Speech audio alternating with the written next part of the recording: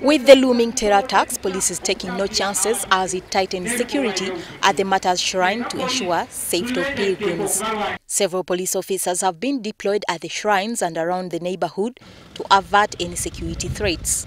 Pilgrims have been cautioned to be vigilant and alert the police in case of any suspicious elements as police slaps a ban on roadside vending. I assure you of tight security around the entire shrine.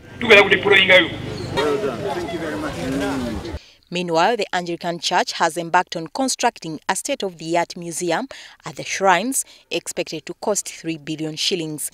The groundbreaking ceremony attracted leaders from the Catholic Church who emphasized unity among Christians.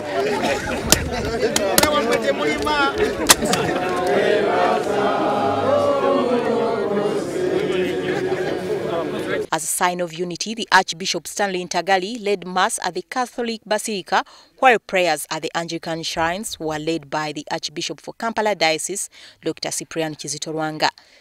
Whereas other people are saying that the economy of our country is growing, when you go deep in villages, the poor are becoming poorer, whereas others are getting richer.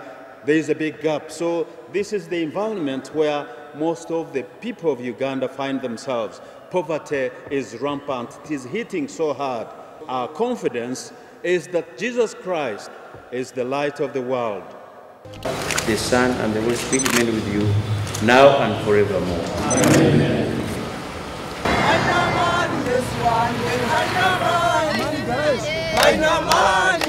Several pilgrims continue to arrive at Namugongo to mark Martyrs Day on 3rd June.